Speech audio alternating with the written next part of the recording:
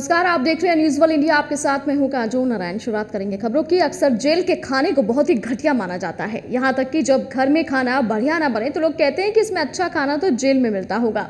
हालाँकि इस बात को उत्तर प्रदेश के फरुखाबाद जेल ने सही साबित कर दिया है। इस, यहाँ पर भोजन की अच्छी क्वालिटी के लिए विशेषज्ञों की टीम ने लगातार जाँच करने के बाद एफ़ का फाइव स्टार प्रमाण पत्र मिला। इस तरह फरुखाबाद के फतेहगढ़ जेल ये उपलब्धि हासिल करने वाली यूपी की पहली जेल बन गई है। दरअसल फरुखाबाद की जिला कारागार की रसोई को आधुनिक कर दिया गया है। जेल के अंदर इस नए किचन में खाना बनाने के लिए आधुनिक मशीनें लगाई गई हैं। इसमें हाथ के बजाय मशीनों से खाना तैयार होता है। यही वजह है कि बंदियों को गुणवत्तापूर्ण भोजन देने और खाद्य सामग्री के बेहतर रखरखाव के लिए FSSAI ने प्रमाण पत्र प्रदान किया, जिसमें फाइव स्टार रेटिंग है। प्रमाण पत्र प्राप्त हुआ है। माननीय मंत्री जी द्वारा, माननीय डीजी सर श्री आनंद कुमार साहब द्वारा, जिलाधिकारी महोदय श्री संजय कुमार सिंह द्वारा कारागार की भोजन व्यवस्थाओं में आमूल चूल सुधार के निर्देश दिए गए थे, जिसके क्रम में हमने एफएसएससीआई का मार्च में लाइसेंस प्राप्त किया था। मई में हमारा थर्ड पार्टी ऑडिट हुआ। अब हमें इसका प्रमाण पत्र प्राप्त हुआ, जिसमें हमारी फाइव स्टार रेटिंग आई है और ये ईट राइट कैंपस के रूप में इसको प्रमाणित किया गया है।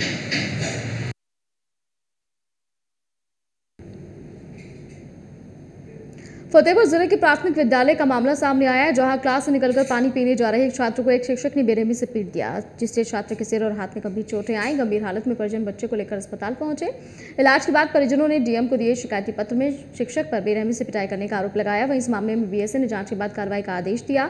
आपको बता दें कि फतेहपुर ज़िले के वो ब्लॉक के सुकेती गाँव निवासी जितेंद्र का दस वर्षीय बेटा शुभम गाँव स्थित प्राथमिक विद्यालय में कक्षा पांचवीं पढ़ता है। शुभम ने खुद बताया कि क्लास से उठकर वो हैंडपंप में पानी पीने जा रहा था, तभी स्कूल के एक शिक्षक ने उसे डंडा मार दिया और लात मारकर गिरा दिया, जिससे उसके सिर और हाथ पर गंभीर चोटें आई हैं।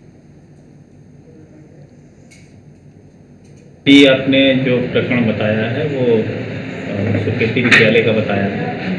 तो अभी इस प्रकरण को जो है आपने संज्ञानित मुझे किया है तो मैं खंड शिक्षा अधिकारी जो वहाँ के बहुआ का ये स्कूल है, मैं उनसे बात करके संबंधित प्रकरण की जाँच कराता हूँ और जाँच रिपोर्ट जो भी आएगी, उसके आगे जो है, नियमानुसार जो भी होगी, कार्रवाई की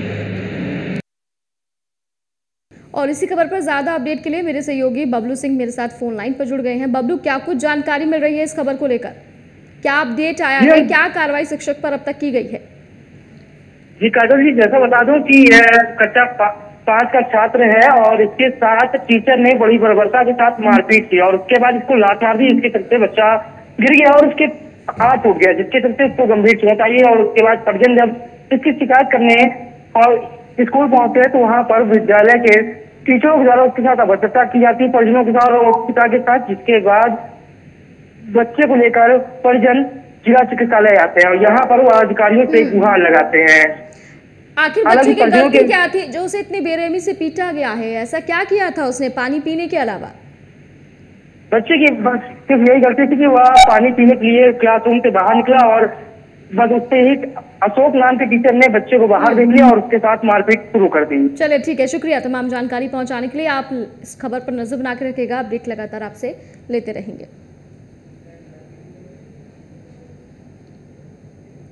पीलीभीत में ट्रैफ़िक पुलिस पूरे एक्शन मोड में है। एसपी दिनेश कुमार प्रभु और ट्रैफ़िक पुलिस प्रभारी निर्देश चौहान के निर्देशन में ट्रैफ़िक पुलिस ने सघन वाहन चेकिंग अभियान चलाया, जिसमें दोपहिया वाहन, तीन पहिया वाहन, चार पहिया वाहनों को चेक किया गया, जिसमें शहर के प्रमुख चौराहों पर बिना ड्राइविंग लाइसेंस तेरह नंबर पार्किंग जोन में खड़े पाँच, बिना हेलमेट, उन्नीस सवारी, तीन बिना सीट बेल्ट वाले और चार लोगों का बीमा न होने के चलते चालान किया गया है।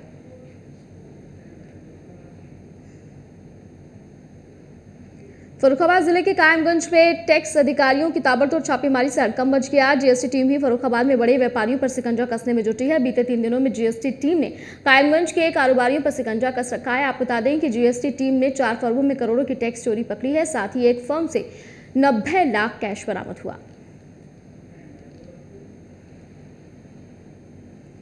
गोरखपुर में पशु तस्कर पुलिस के लिए सिरदर्द बनते जा रहे हैं। पुलिस लगातार अभियान चलाकर पशु तस्करों को जेल के सलाखों के पीछे भेज रही है, लेकिन ये पशु तस्कर कहीं ना कहीं पुलिस के लिए लगातार सिरदर्द बने हुए हैं। कई बार इन लोगों ने आम लोगों से लेकर पुलिस तक के ऊपर पथराव और जानलेवा हमला किया है। बावजूद इसके, पुलिस की कोई ठोस रणनीति न होने के कारण ये तस्कर पुलिस पर भारी पड़ जाते हैं। पुलिस को सूचना मिली थी कि कुछ पशु तस्कर गाँव में आकर पशुओं को उठाने वाले हैं। सूचना पर पीआरबी की गाड़ी पशु तस्करों का पीछा करने लगी।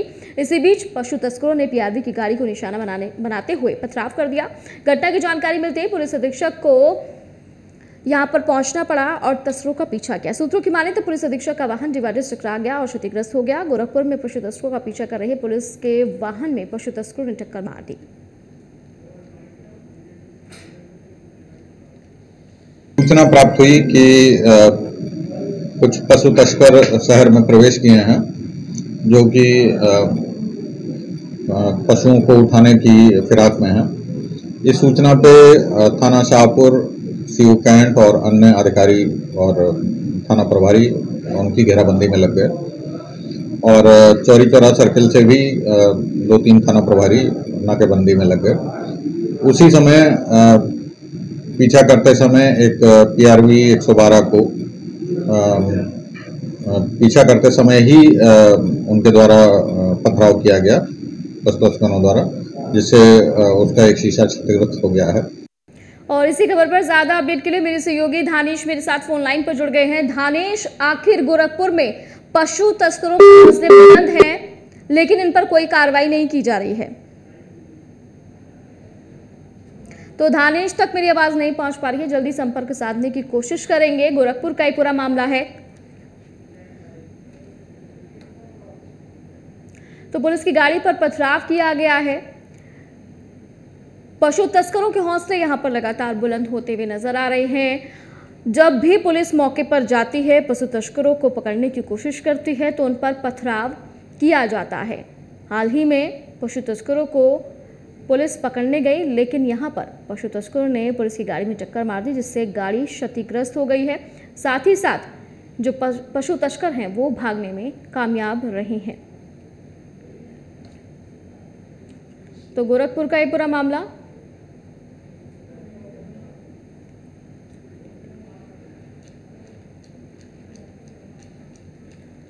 तो गोरखपुर का ये पूरा मामला है, जहाँ पर गौ तस्करों से आम जनता परेशान है। इसी खबर पर ज़्यादा अपडेट के लिए मेरे सहयोगी धानेश मेरे साथ फ़ोन लाइन पर जुड़ गए हैं। धानेश, पशु तस्कर, लगातार पुलिस के लिए सिरदर्द बनी हुई है। आखिर क्यों पुलिस इन पर लगाम नहीं लगा पा रही? देखिए, मैं आपको बता दूँ कि शनिवार की भोर की बात है। श्री नाथ जो अपने अपने क्षेत्र के लोगों से बैठक कर रहे थे। सभी थानेदार थानेदार और सीओ मौजूद थे। पुलिस लाइन में वो मीटिंग कर रहे थे। उसी दौरान उनको सूचना मिली। भोर में सूचना मिली कि पशु तस्करों की गाड़ियाँ जो है गोरखपुर की तरफ़ से महाराजगंज की तरफ़ जा रही है। उन्होंने अ, आगे पीआरडीओ को भी सूचना दी गई इस- मामले को लेकर कि गौ तस्कर जो है अपने वाहनों में लेके पशु तस्करों को जा रहे हैं। उसकी सूचना मिलते ही पीआरडी भी उनके पीछे लग गई और गोरखपुर से महाराजगंज की रोडों की तरफ़ पशु तस्करों पर भनक मिल गई कि हमारे पीछे पुलिस लग गई है। पीआरडी को देखते हुए उन्होंने पीआरडी के सौ बारह वाले गाड़ियों पे नंबर गाड़ियों पे उन्होंने क्या अब तक उनमें से किसी पशु तस्कर की गिरफ्तारी हो पाई है धानेश जी अभी तक किसी पशु तस्कर को गिरफ्तारी नहीं हो पाई है। गिरफ़्तार करने के लिए पशु तस्करों को उनके साथ पीआरडी के बाद सीनार भी उनके पीछे लग गए। उसके बाद भी उनके भी गाड़ियों पे पथराव किया गया।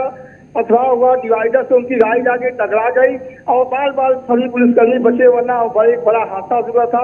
पुलिसकर्मी पशु तस्कर एक गोरखपुर के लिए बड़ा एक पुलिस के लिए चलिए ठीक है दानिश शुक्रिया तमाम जानकारी पहुँचाने के लिए। जौनपुर में भाजपा नेताओं ने शाहगंज रोडवेज़ की समस्याओं को लेकर परिवहन मंत्री दयाशंकर सिंह को ज्ञापन सौंपा। साथ ही नेताओं ने रोडवेज़ पर यात्रियों सहित अन्य लोगों को होने वाली समस्याओं से भी अवगत कराया। मीडिया से बातचीत के दौरान बीजेपी नेता ने बताया कि शाहगंज नगर पर रोडवेज़ बस स्टैंड की हालत बस से बदतर है। भवन जर्जर अवस्था में है। यात्रियों के बैठने की और पीने की, पानी की कोई व्यवस्था नहीं है। बरसात के समय में जल हो जाता है, जिससे यात्रियों को काफ़ी तरह की परेशानियाँ होती हैं। आज माननीय प्रधानमंत्री श्री जयशंकर सिंह को हमने एक ज्ञापन दिया जिसमें शाहगंज रोडवेज़ जो जीर्ण सी व्यवस्था में है उसको बेहतर बनाने के लिए, दूसरा उसमें शाहगंज से जौनपुर के लिए बस सेवा बढ़ाने के लिए, शाहगंज से नगरीय क्षेत्रों में आसपास एरिया में बस की सुविधा के लिए मैंने मांग पत्र दी है।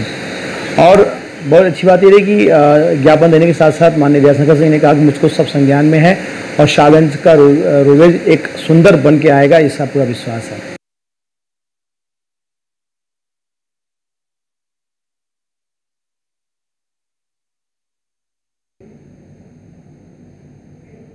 हरदोई में अवैध तमंचों के साथ वीडियो और फ़ोटो सोशल मीडिया पर वायरल करने के दो मामले अलग अलग थाना क्षेत्रों से सामने आए।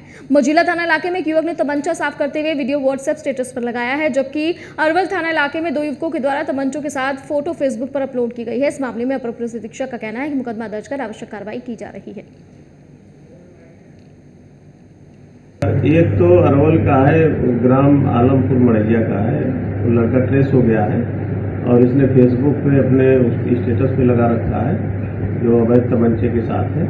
उसकी तलाश की जा रही है और दूसरा जो है, ग्राम करावा मजिला का है। इसका भी वीडियो वायरल हो रहा है। दोनों के विरुद्ध इसमें जो भी विधिक कार्रवाई होगी, की जाएगी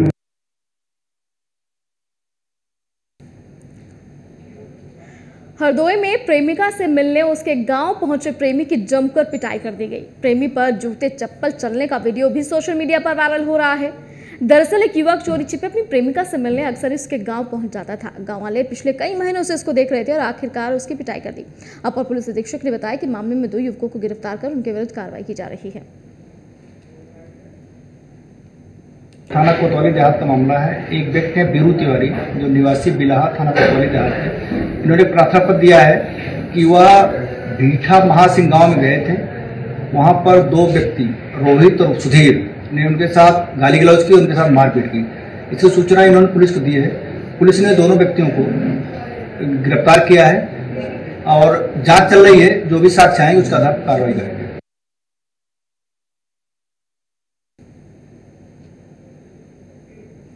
गणेश जी की मूर्ति स्थापित करने वाली मुस्लिम महिला रूबी आसिफ खान ने बड़ा बयान दिया। उन्होंने मीडिया से बातचीत में कहा कि हिंदू देवी देवताओं पर टिप्पणी करने वाले सहारनपुर के मौलाना जिहादी और उग्रवादी हैं। पूजा आस्था को लेकर विवादित बयान देने वाली मौलवी सच्चे मुसलमान नहीं हो सकते। देश का बंटवारा करना चाहते हिंदू, मुस्लिम सभी भाइयों को मिलजुल कर रहना चाहिए।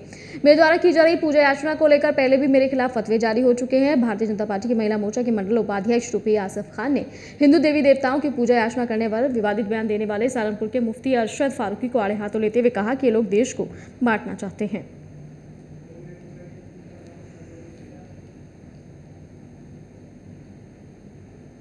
चंदौली के सिकलदिया तहसील के विष्णुपुरा बंशीपुर गाँव की महिलाएँ दर्जनों की संख्या में ग्राम प्रधान विजय कुमार के नेतृत्व में तहसील परिसर में प्रदर्शन करते हुए कोटेदार के खिलाफ कार्रवाई के लिए उप जिलाधिकारी को पत्र सौंपा है। महिलाओं का आरोप है कि बासीपुर ग्राम सभा कोटेदार ग्रामीणों से अंगूठा लगवाने के लिए कई दिनों तक परेशान करता है। महिलाओं को अंगूठा लगवाने के लिए बार बार आना पड़ता है। जब राशन लेने के लिए जाते हैं, तब उन्हें मना कर दिया जाता है। बाद में मालूम होता है कि आपका राशन उठ गया है, जिससे लोगों को राशन नहीं मिल पा रहा है। बांदा के अंतरा थाना अंतर्गत रेलवे ट्रैक पर संदिग्ध परिस्थिति में युवक, युवती का शव मिला है। युवक, युवती के परिजनों ने बताया कि दोनों कल शाम से घर से गायब थे। मामला प्रेम प्रसंग का बताया जा रहा है। दोनों युवक, युवती तिंदुरी रसवत गाँव के रहने वाले मौके पर पहुँची पुलिस ने दोनों के शवों को कब्जे में लिया है।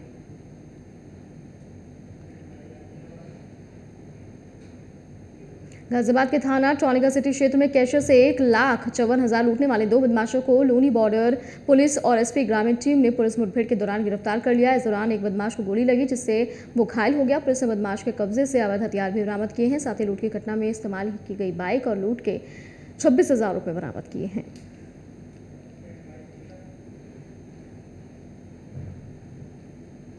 सीतापुर के हरगांव विधानसभा से बीजेपी के विधायक सुरेश राही डीएम दफ्तर पहुँचे, धरने पर बैठ गए आपको बता दें कि सुरेश राही बीजेपी सरकार में कारागार राज्य मंत्री हैं। उनका कहना है कि मेरे समर्थकों को और पूरे गाँव पर केस दर्ज कर दिया गया है। पूरे गाँव पर धारा एक सौ के तहत पाबंद कर दिया गया। आपको बता दें कि गाँव के विधान ने आरोप लगाया कि ग्रामीणों ने सरकार की जमीनों पर कब्जा कर लिया। वही मंत्री का कहना है कि ऐसी कोई ज़मीन ही नहीं है जिसको ग्रामीणों ने कब्जा किया हो। पुलिस और अधिकारियों ने उनको फंसाने की साजिश की है, जिसको लेकर डीएम दफ्तर के बाहर धरने पर बैठ गए हैं।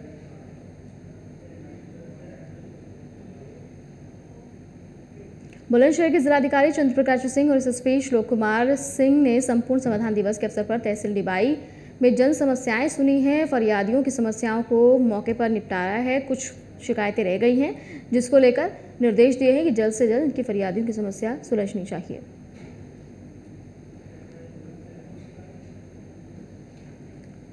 बुलंदशहर के विकासखंड गुलावटी क्षेत्र अंतर्गत ग्राम कोटा में दिव्यांगजनों के लिए निर्माणाधीन विशेष संकेतिक माध्यमिक विद्यालय और हॉस्टल के निर्माण कार्य की स्थिति का जायजा लेने के लिए उद्देश्य से जिलाधिकारी चंद्र प्रकाश सिंह ने स्थलीय निरीक्षण किया। वहीं मौके पर निर्माण कार्य करा रही संबंधित कार्यदायी संस्था का कोई भी प्रतिनिधि उपस्थित नहीं मिला। मौके पर सिर्फ़ कुछ मजदूर काम कर रहे थे। इसके साथ ही निर्माण कार्य में भी सामग्री मानकों के अनुसार इस्तेमाल में नहीं लाए जाने पर जिलाधिकारी ने कड़ी नाराज़गी जताई है।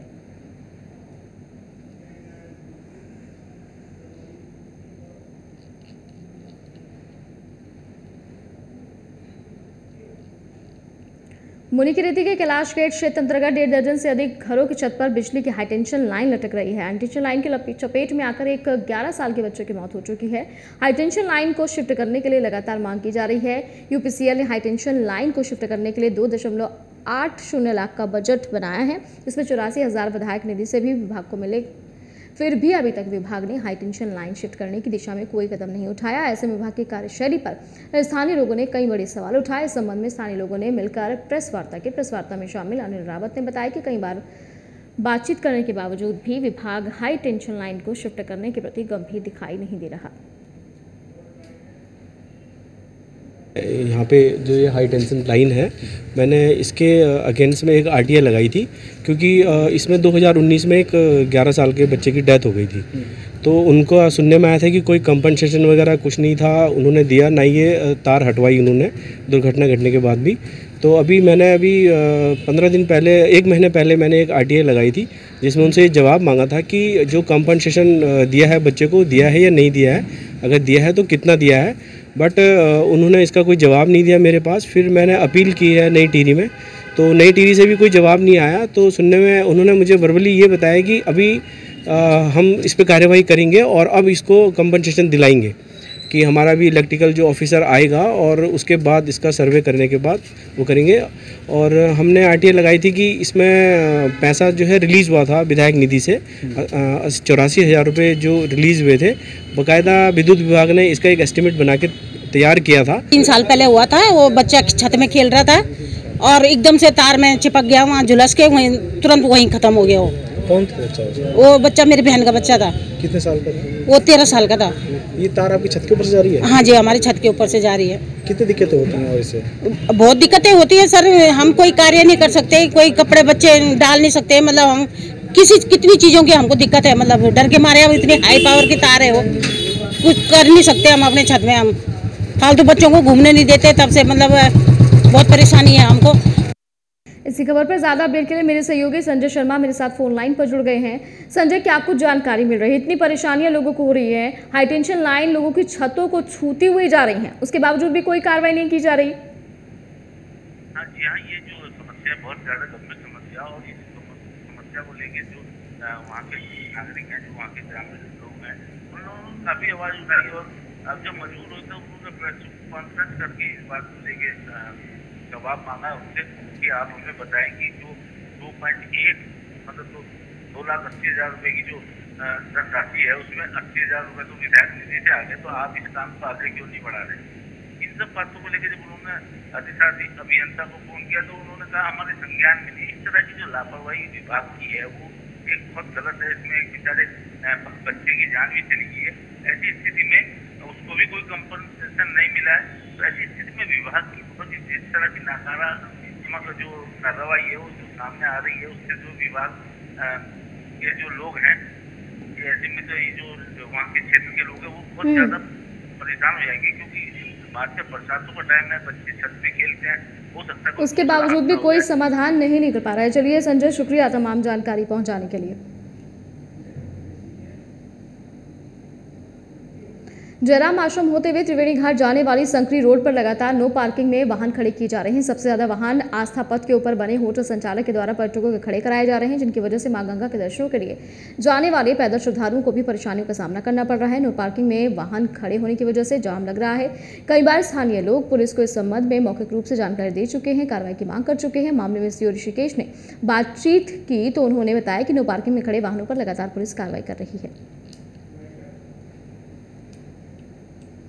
और इसी के साथ फ़िलहाल खबरों में इतना ही। आप बने रहिए न्यूज़ वॉल इंडिया के साथ।